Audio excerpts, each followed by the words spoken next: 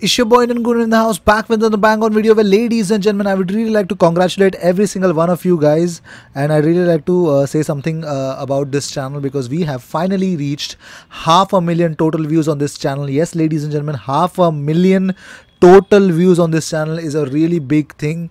I did not i did not even think that we could achieve that this uh, in in very short time. And thank you so much for everyone who's actually supported me and who are actually joining this uh, community. Uh, i think you'll definitely not be uh, disappointed with whatever's coming on this platform. So thank you so much for uh, sticking with me in my thick and thin. Thank you so much for that. Well the first news has actually hit us. Well, either way, Lacazette seems to be happy that his fellow French international uh, Layvin Kurzawa looks set to join Arsenal because he's liked an Instagram post featuring a mocked up picture of uh, uh, Layvin Kurzawa wearing Arsenal kit and also Kurzawa was to was actually to be believed to receive an offer to join AC Milan but he turned it down to, down in favor of Arsenal but while Lacazette will be happy to have his compatriot at the club moving on well it looks like Arteta is gearing up to face Bournemouth on Monday without David Luiz and Pierre-Emerick Aubameyang. Yes, ladies and Brazilian David Luiz faces a three-match ban suspension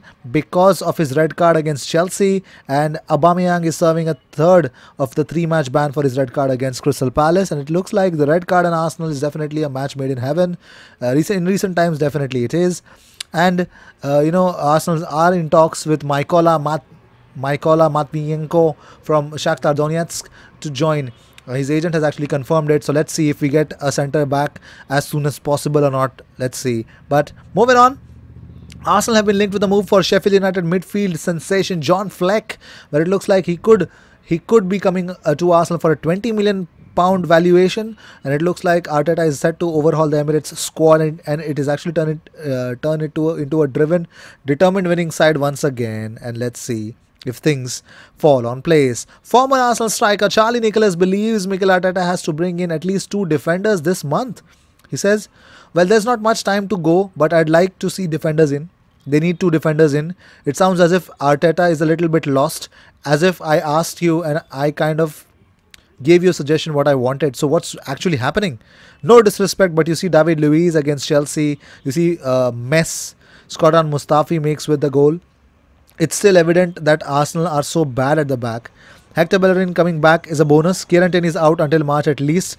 So there are problems all over the defense if defensive setup. So we need defenders in to help the current situation. Well, Mesut Ozil's resurgence under Mikel Arteta seems to be short-lived because it looks like the German player is almost certain to see out his Arsenal contract up until 2021 because he's earning 350k a week which is all, has which has always been a case of discussion on this platform on this community and on, on many other communities as well but it looks like there is another team outside of Europe who wants him. That is MLSI DC United are reportedly keen to sign him. But moving on, well, Hakan Calhanoglu, ladies and gentlemen, is waiting to see if Arsenal firm up their reported interest on him because the ex-Hamburg and Bayer Leverkusen stars agent is said to have touted him to go to Arsenal. Let's see what's going to happen with him if he is going to make it for the for a move at the Emirates. But moving on, well, Ian Wright cheekily taunted Cesar Azpilicueta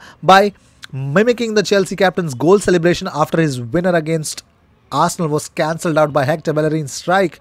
Well, well, it looks like he, he stuck his tongue out, and uh, you could see that uh, you know. But uh, the biggest biggest thing that Ian Wright actually came up with because he celebrated the result. Ian Wright stuck his tongue out and bellowed Azpi as P to taunt the Chelsea captain. It was really great to see because because that is that is exactly how Ian Wright is, ladies and gentlemen. He is every Arsenal fan's dream to be on TV and you know represent every Arsenal fan. Unbelievable, never changed, Wrighty. But moving on. Well, Mikel Arteta has reportedly not started Dani Ceballos because he doesn't see him suited to his pressing, high-intensity style because he believes that the Spaniard isn't physically suited to his style, even though he values him as a player. It is understood that Ceballos will be leaving his loan spell at the Emirates and returning to Real Madrid. The 23-year-old hasn't featured for Arsenal since November 6th. Well, it looks like Arsenal are, go are, going to miss out on another uh, reported target as well because Ryan Fraser is reportedly being eyed by West Ham. The Scottish international was heavily linked with Arsenal, but the club opted to sign Nicola Pepe, and it looks like, you know, uh, it could be West Ham for him. But moving on. Former Arsenal striker Robin Van Persie has revealed his love for Gabriel Martinelli and Nicola Pepe. He says, Martinelli, I really like. I like Pepe. Pepe's big moment was against Manchester United. So hopefully he can kick on. Fantastic players if you look at Pepe and Martinelli. Well, these were the news of the day. I hope you enjoyed whatever came your way. All the views, news, and everything about Arsenal comes on this platform every single day, twice. So make sure you subscribe and keep supporting the Indian Gooner if you are actually uh, a part of this community. I will see you in my next video. And until then, cheers.